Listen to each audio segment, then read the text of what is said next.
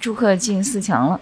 然后看从比赛这个比分来看，应该是打得比较轻松，但是我看你下来还是满满头是汗，一身汗。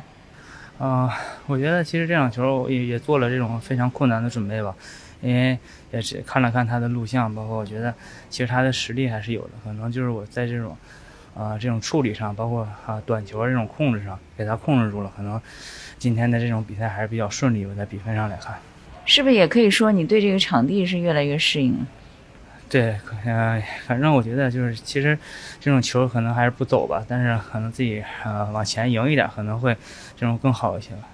嗯，就是改变了自己去适应这个环境和所有的这些，呃，包括球台呀，包括场地呀，包括因为前两天还有说风比较大的，现在都适应了。都适应了，因为打这么多场嘛，然后因为第一天不太适应，打这么多天了，肯定也适应。嗯，怎么准备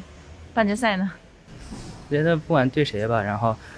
还是要去全力以赴吧，就是嗯，也是把自己的困难准备准备充分，然后打好每每一分每一局吧。